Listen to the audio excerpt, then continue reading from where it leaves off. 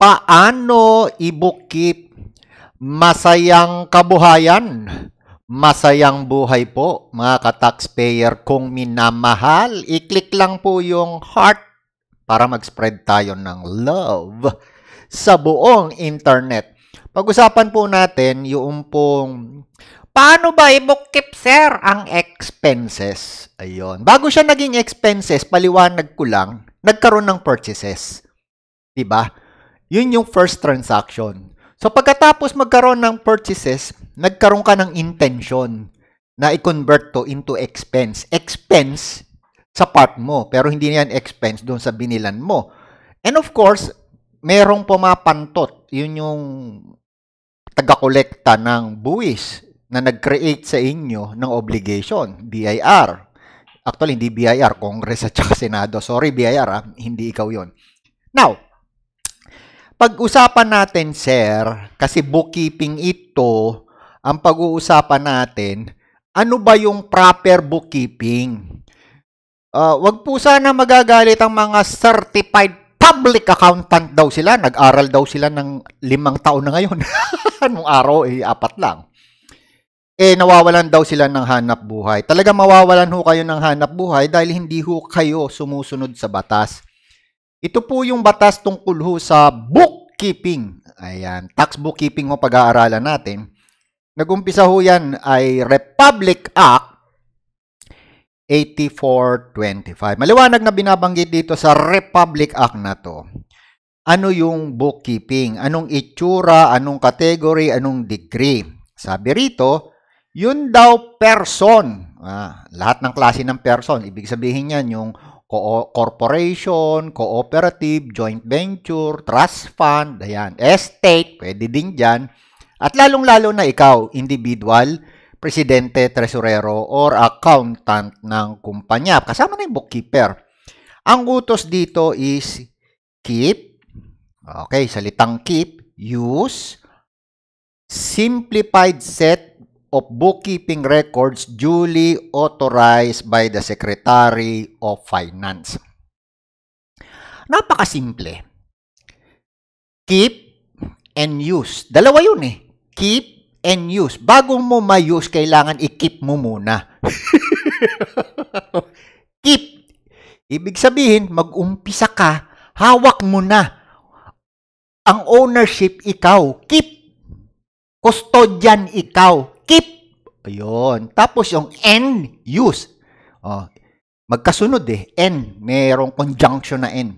Use, gamitin. Yan. Sets, ano ba sinasabi? Simplified sets of bookkeeping records.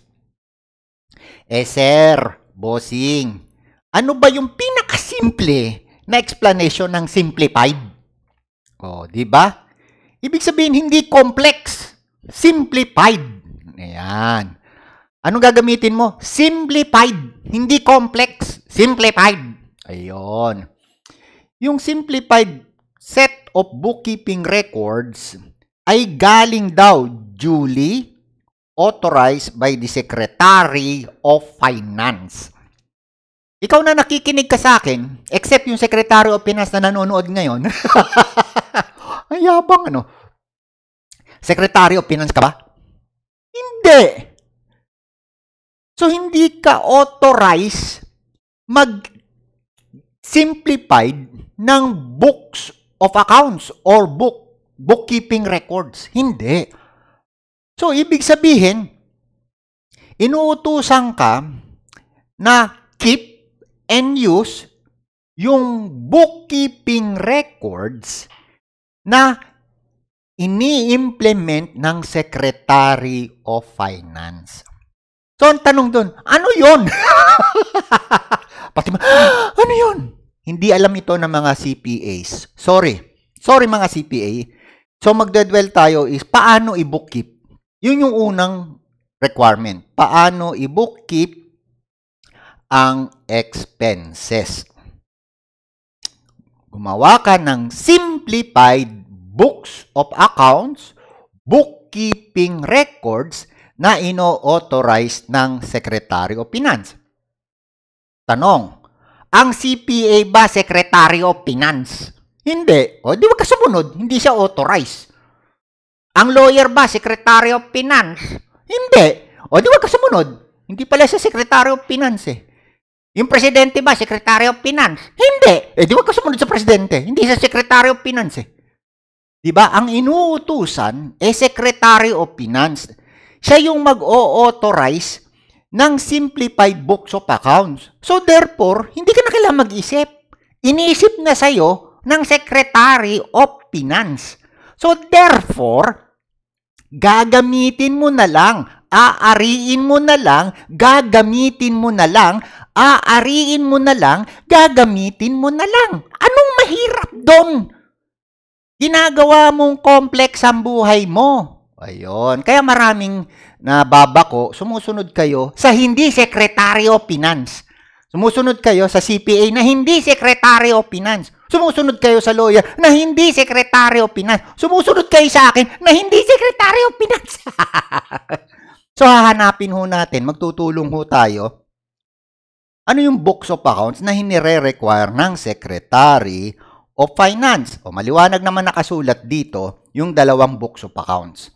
Ito po, nasa section 233. Ano yon?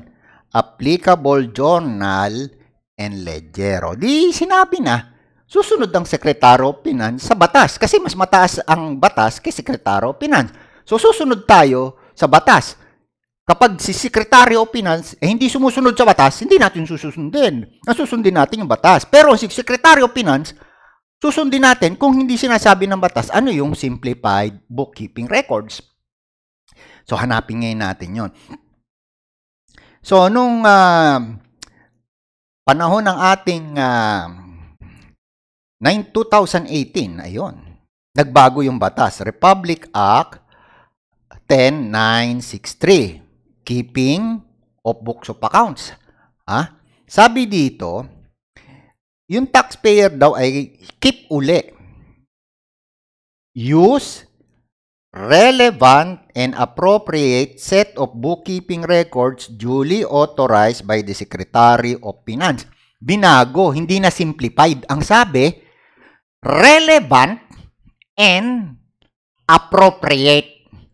Kanino relevant Kanino appropriate? Appropriate ba sa taxpayer?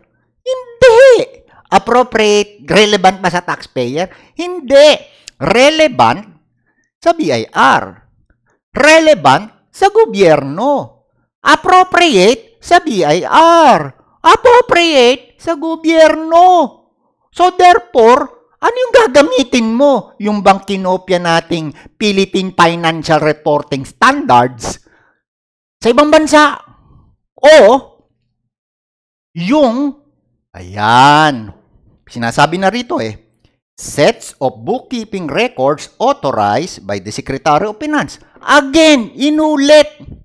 After 20 years, inulit ang sabi, sets of bookkeeping records na authorized ni Secretary of Finance. E therefore, ang sinasabi, oy, tar Ah, sorry. Oy, ang gamitin mo ay bookkeeping records na inauthorize ni Secretary of Finance at ang ibig sabihin kung in-identify na si Secretary of Finance lang ang mag-authorize exclusively, hindi pwedeng mag-authorize ang isang certified public accountant. Hindi pwedeng mag-authorize ang isang uh, bookkeeper. Okay? So, sundin natin ang sinasabi ng batas natin. So, ito ho ay part 1 lang ng uh, tungkol ho sa i-bookkeep mo ang expenses. Paano i-bookkeep ang expenses? So, yung susunod ho nating i-training ay tungkol ho sa chart of account. Okay? Bakit napakaganda ng chart of account na nire-recommenda at ino-authorize ni Secretary of Finance? Ano yung benefit ng chart of account ni Secretary of Finance? Bakit ang isang revenue officer humihingi ng chart of account? Explain ko sa inyo at kung wala pa ho kayong chart of account, panoorin nyo ho itong part 2. Paano i-bookkeep ang mga expenses po ninyo. For that, masayang buhay po sa inyo, mga ka-taxpayer kong minamahal, at sana ay magkaroon kayo ng masayang buhay para galing ho sa masayang hanap buhay at para ho peace and ano ba yung sasabihin ko? Peace and happiness be with you for life. See you later.